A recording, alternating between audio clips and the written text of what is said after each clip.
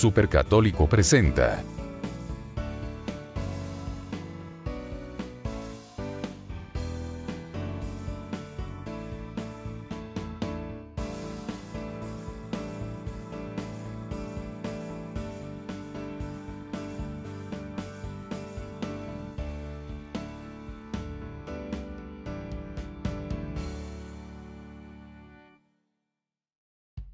Hola, ¿cómo están? Me dan gusto saludarles. Mi nombre es Gabriel Autón, soy catequista de hace ya algún tiempo y pues eh, hemos manejado ahora un nuevo programa que se llama qué dice las Sagradas Escrituras sobre. En este caso, pues a través del Face nos han preguntado que qué dice las Sagradas Escrituras sobre lo que es el alcoholismo, sobre la embriaguez. Y pues sin duda alguna que la Sagrada Escritura es viva y eficaz y por lo tanto tiene un mensaje para cada una de las situaciones muy concretas de nuestra vida. Tal vez no hemos experimentado, pero en las Sagradas Escrituras yo considero pues están los lineamientos hacia los diversos problemas que podemos tener durante nuestra vida. Sobre este tema específicamente podemos analizar en Proverbios capítulo 20 versículo 1, dice, el vino es arrogante, las bebidas insolentes, quien en ella se pierda no llegará a sabio. O sea, nos hace entender que no es de sabios, ¿verdad? Eh, caer en el alcoholismo, caer en los excesos propiamente de esta, que pues para muchos es considerada como una enfermedad, ¿verdad? ¿Por qué? Porque es difícil poder salir de ello. También nos dice Proverbios 23:20, no seas de los que se emborrachan de vino, ni los que se aitan de, de, carne, porque borracho y glotón se empobrecen, y el sopor se vestirá de harapos.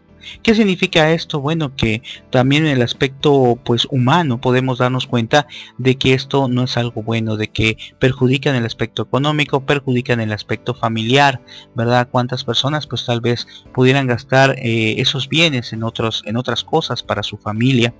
También nos hace mención más adelante las Sagradas Escrituras categóricamente que se prohíbe, ¿verdad? Dice en el Evangelio de San Lucas 17:27, dice, comían, bebían, tomaban mujer o marido hasta el día en que entró Noé en el arca, vino el diluvio y los hizo perecer a todos.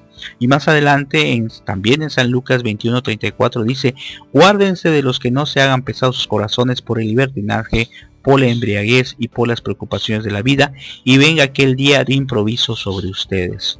En Romanos nos dice, capítulo 13, versículo 13, como en pleno día procedemos con decoro, nada de comilonas y borracheras, nada de lujurias y desenfrenos, nada de rivalidades y envidias. Por otra parte también la Sagrada Escritura dice que el vino ha sido creado para el contento del hombre. Eclesiastés 31:27 dice, como la vida es el vino para el hombre, si lo bebes con medida ¿Qué es la vida a quien le falta el vino que ha sido creado para contento de los hombres?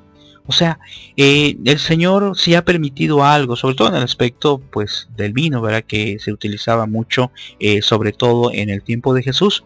Nunca Él ha, eh, vaya, no se presenta como una prohibición. Muchas de las cosas que existen en el mundo, sobre todo aquellas cosas que es Dios que ha proveído, en el caso del vino a través de la uva, pues Él lo ha presentado, Él lo da.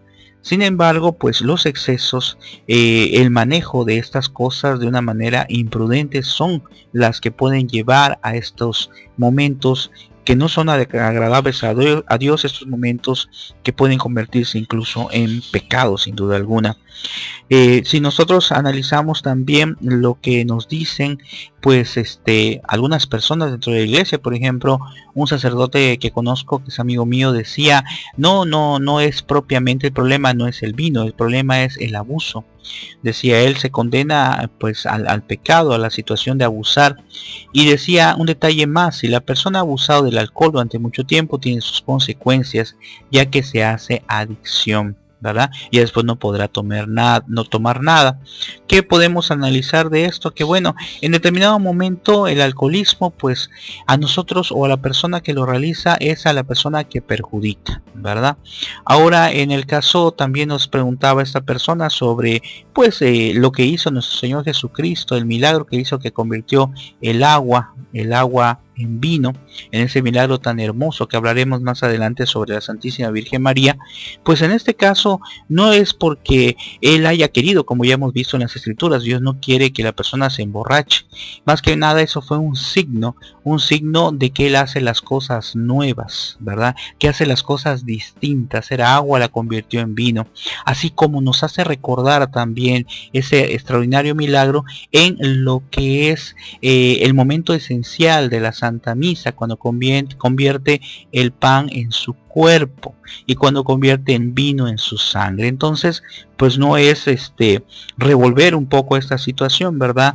Eh, hay muchas cosas que se manejan dentro de Sagradas Escrituras como signos y esos signos los tenemos que ver a través del magisterio de la iglesia.